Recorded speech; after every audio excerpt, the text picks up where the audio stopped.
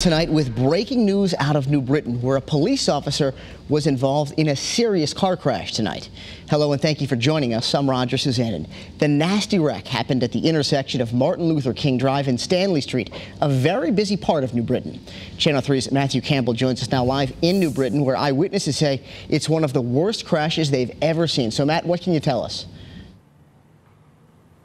Yeah, Roger, we can go right to the video that we shot when we first got on scene, and you can take a look at this for yourself. You're going to see the impact here. It was severe. The airbags in the police cruiser deployed, and that tire was mangled. Now, the front end of the other SUV involved here, that was smashed right to the transmission, and police are telling us this happened shortly before 7 o'clock tonight. They aren't releasing speed details or if the officer was involved in a chase, but the bottom line here is that this actually looks worse than it was, and that's because Police tell us the officer was treated and released from the hospital, and the driver of that other SUV is a 24 year old from Hartford, and that person declined medical attention. And that is good news and also remarkable for those who witnessed this bad car accident and, and it was a wicked bad car accident and, and I've heard them here many times before. I mean, I heard it, I called 911, I told the police, and uh, when I walked out there to look, the cops were already at the scene.